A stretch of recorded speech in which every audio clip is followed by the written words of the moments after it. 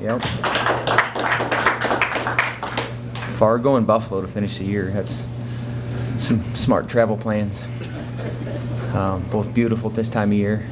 Um, got my backpack on because going back to school, and that means going back and, and figuring out how to become a better coach. You know, sometimes there's certain there's certain things that happen and maybe things aren't going well, then you got to evaluate and, and, and, make some adjustments and, and changes. And you know that's what that's what I got my backpack for. So I've been studying and become continue to become a better coach. You know, because you, you, never have it figured out. And no matter how well or how bad things are going, um, you know, we got to continue to move forward and and really get our team geared up for this next five weeks. You know, we got five weeks left in the season. One one dual meet, and then uh, you know our conference tournament and, and national tournament.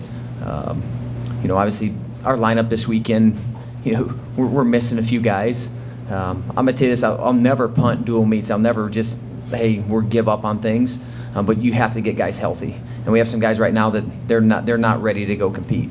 Um, and it's just it's not smart to put them out there. So we're getting our guys ready to compete at the at the conference tournament. Um, I think we'll have a couple of those guys back this week, um, but but we'll see.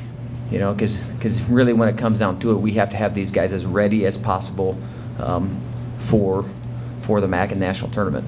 Um, and, and that might mean that we put a lineup out there that doesn't look like the lineup you think you're going to see. But uh, I still believe that that the guys that we send out there can go can go get the job done. You know, even the other night, you know, we're we're, we're missing a few of our starters, um, but we got guys that are capable of stepping in there and getting the job done. You know, I still fully expected that we would win that dual meet. Um, don't don't care if so-called backups are in.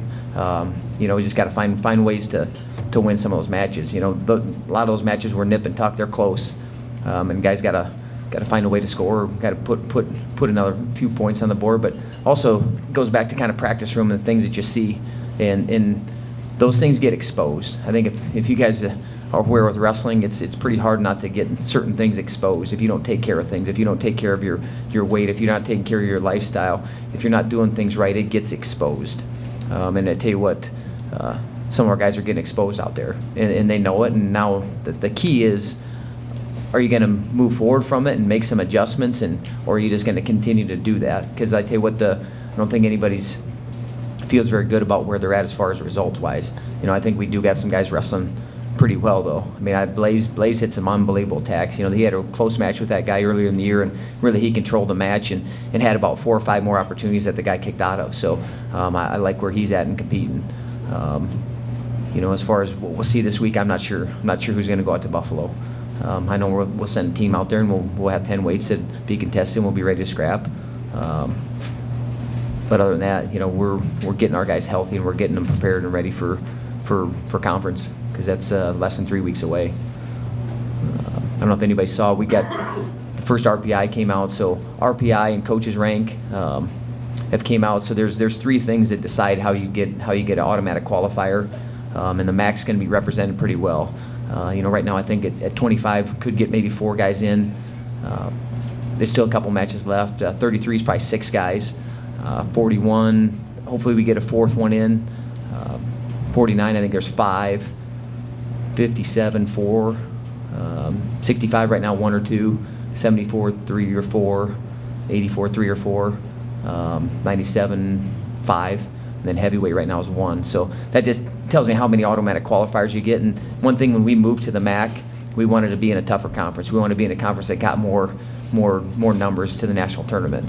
Um, you know, our guys can do, they can ensure that by how they take care of their season. But you know, it's certainly nice to, to punch your ticket and have, have as many have as many guys in there as possible. So, um, you know, so kind of looking at that. So I don't know if anybody is aware that's how things run now, but that's how it runs. So um, our guys can do can do their job by by winning another match. You know, we, we might need a couple guys to wrestle just to get their win percentage up or get another match for RPI, uh, so they qualify an automatic spot. But I guess anything else.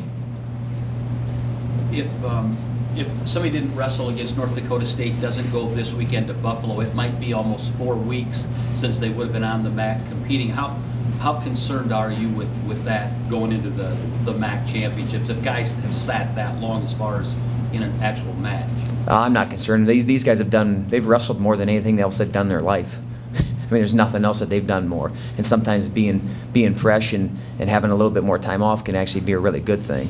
Um, sometimes, you know, I mean, just what would say absence makes the heart grow fonder. I mean, sometimes that's how it is with wrestling too. All of a sudden you get away from it a little bit and you can't have it. Then that's kind of what we're doing right now with our team. We're pulling back. We're pulling back a lot of the hard wrestling. So they, they they're so hungry.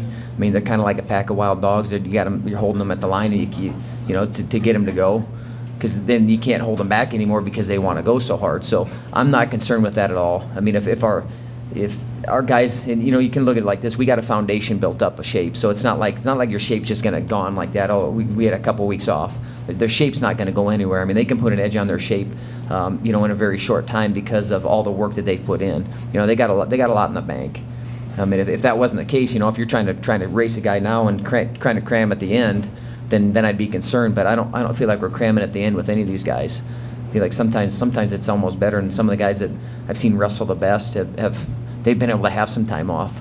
You know, so uh, I'm not concerned. But it's just it's got to be in the best interest of, of the guy and the athlete. And um, you know, a guy like Dylan, it's a, it's really the best thing. It's the best thing for him right now. Um, you know, and that's that's what we're going to evaluate each guy. What's the best thing for him uh, moving forward, and that's that's the way we'll go with it. So. Are there a couple of guys going to Buffalo that, that